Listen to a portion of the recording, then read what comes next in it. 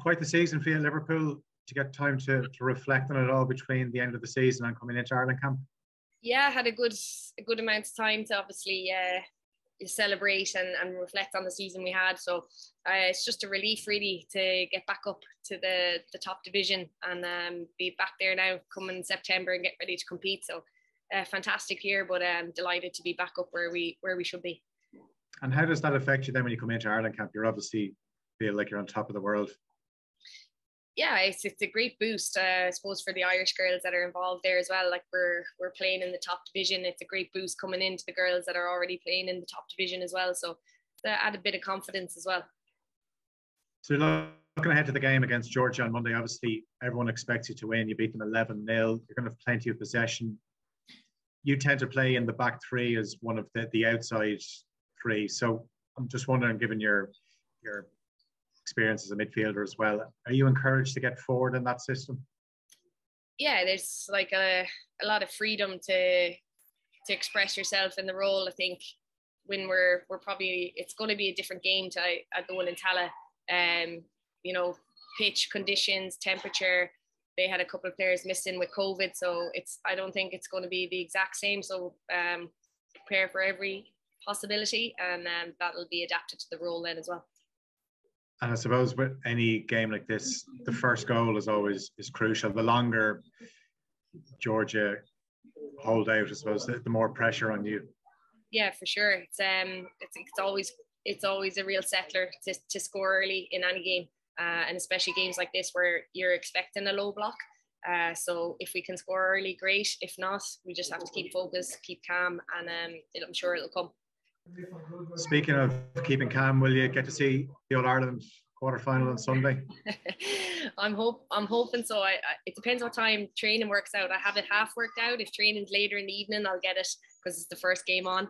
Um, so my yeah, I, am hoping I have I have my uh, sources. I, have a dodgy box. I don't know if I should be saying that, but I have a, I have a dodgy box with me, so uh, I'm all set up. Okay, well look, enjoy that and, and best of luck on Monday. Thanks, Niamh. Cheers. Thank you. Louise. Hi, Niamh. How are you doing? Hi, Louise. How are things? Good, thanks. Um, uh, just a couple from me, really. Uh, with with uh, two more qualifiers to come now in September, how important is it to win on Monday? Just just to set you up right for those two matches later in the year. Yeah, we can't uh, we can't take our eye off the ball. Um, we, we have to get past this test first, and it, I'm expecting a, a, much more difficult test than we had in in Tallaght. So um, yeah, it's important to not get too too far ahead of ourselves and we're not really we're we're fully focused on the game.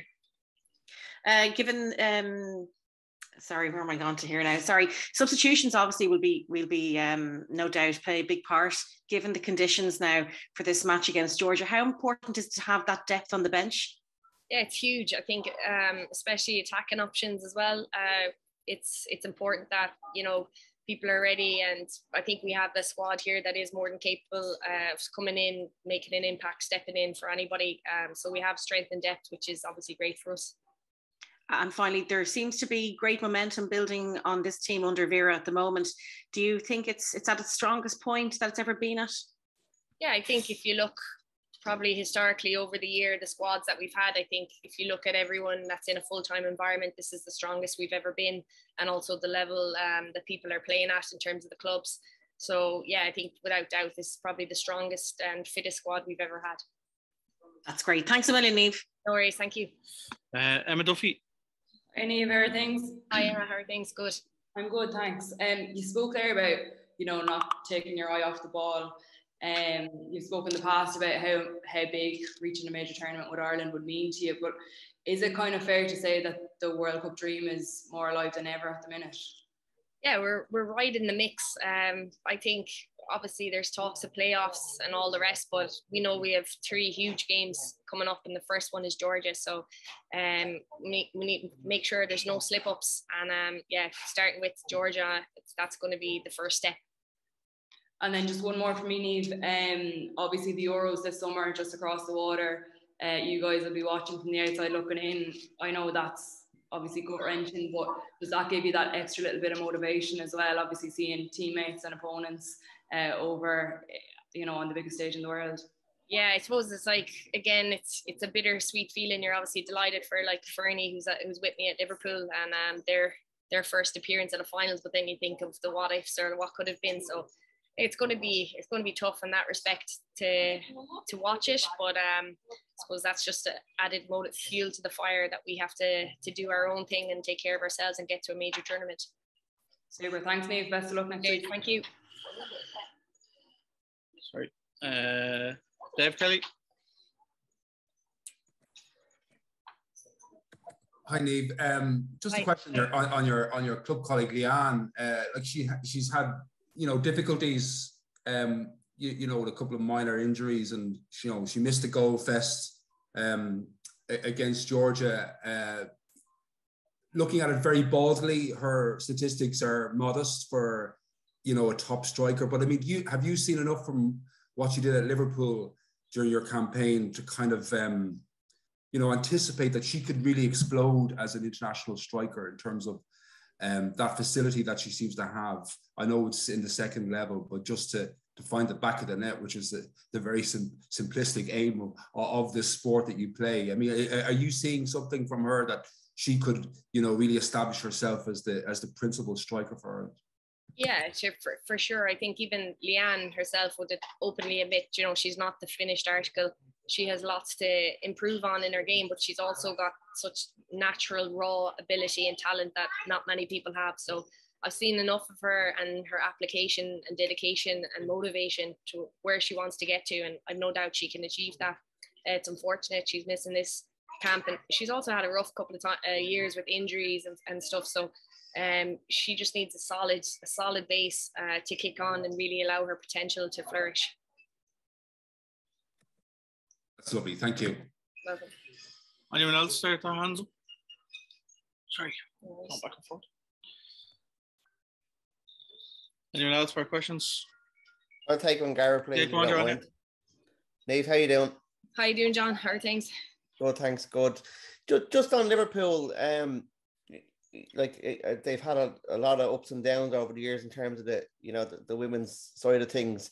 Do you expect that you'll have a real go next season rather than you know just trying to consolidate? And that hasn't really worked for a lot of the teams over the years that have got promoted.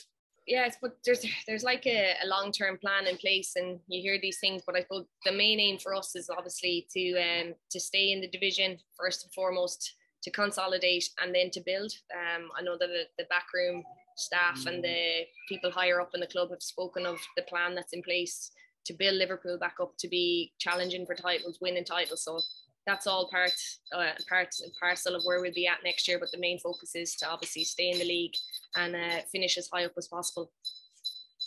And and just for you, for you as captain, you know, at, a- at a fairly momentous time, eh, like do you, do you feel the women's team has become more sort of integral to the club? I know your, yourself and you know uh, um, Jordan Henderson would be would be seen as equals in terms of invites to things. But have you noticed that you've been there quite a while now?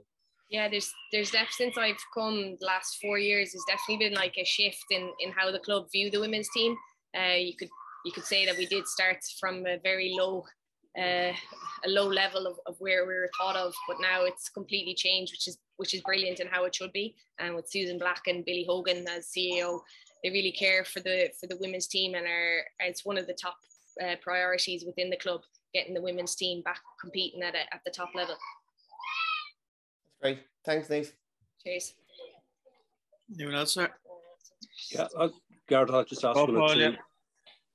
Niamh, how are you? Good morning, or must Morning. be in the afternoon there. Yeah. Um, just uh, two things. One is that uh, you're moving into territory at a personal level, uh, in caps wise, of maybe you know you becoming the, the most capped women's player, and you know ending up going close maybe to where a former men's captain Robbie Keane went with, with his caps record. Is that something that's uh, take you take personal pride from getting so many caps and and you remember the Centurion Club now?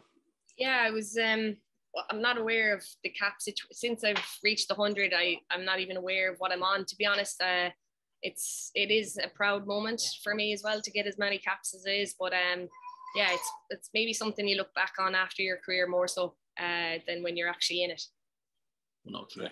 Well, man, 103, 103. 103, that's right, yeah. It wouldn't be too hard to count from.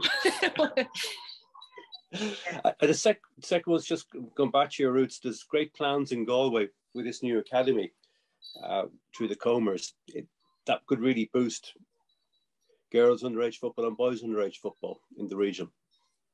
It's, it's brilliant to see the work that's going on at home at a grassroots level, and I know a lot of the people involved in Galway as well are, are really pushing um, pushing the game forward, and obviously uh, young people especially. So uh, yeah, it's fa- it's fantastic to see, and it, it's um it's yeah it's long overdue, I suppose. That's great. Thanks, Dave. Cheers, thank you. Can, can I just have an addendum? Do you mind? Yeah, go ahead. Sorry, this is a very broad, broad based question, but I'm just given you're spending a lot of time um, in, in Turkey and before you came out. As you get to another kind of um, definitive stage of a qualifying campaign, uh, and you've yet to complete one successfully, I'm just wondering, have you done any work as a, as a group on, on, on the kind of mental resilience piece? Um, in terms of that aspect, because obviously, you know, you're, you're improving the technical aspects all the time, but just in terms of, of a squad mentality and getting outside help in, or just uh, how have you been able to kind of harden yourselves up in, in that aspect? Because that, as, as the time ticks on and it gets tighter, you know, that, that becomes almost as important. Yeah, no, for I, we haven't had any outside person come in, but Vera is uh, to the forefront of making sure we're mentally ready for the challenge. And um, she does a great job at that, to be fair to her. So um, it, she does work a lot on the, the mindset and the psyche of the players and being ready. So uh, there's no need for kind of like an outside influence. But um, yeah, she, she has us prepped and ready for that. So.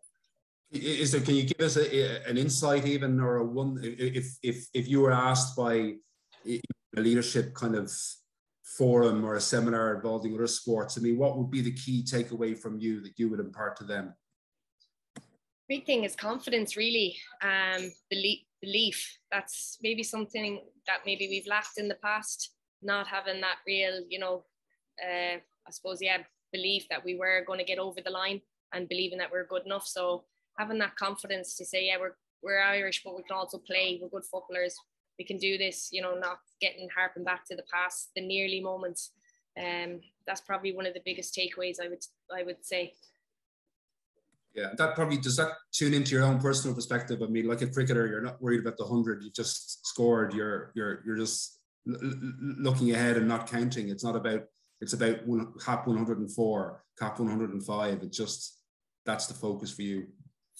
For sure, I don't I don't look past George. I know everyone even at home is talking about, oh, I can't wait for the Finland and Slovakia games, but we can't at top level, you can't take Anton for granted. And that's one of the lessons I've learned in the past with all the games we've had. We've slipped up in games where we've meant we've Greece away, meant to have taken three points, we haven't, and that's ultimately cost us. So all those learnings are crucial. Got to just keep one step ahead, one foot in front of the other, and, and that's just that's just how you have to go about it.